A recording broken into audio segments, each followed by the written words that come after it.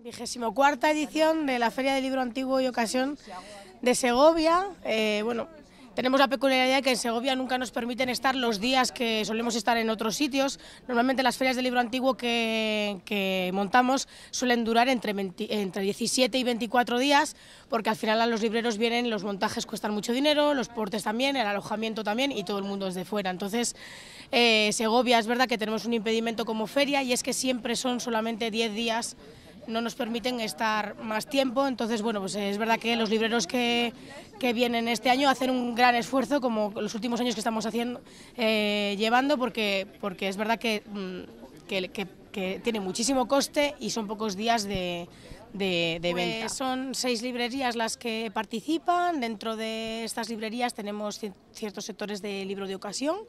eh, otros cuantos tienen libro viejo y libro antiguo y bueno, pues esperamos que poder ofrecer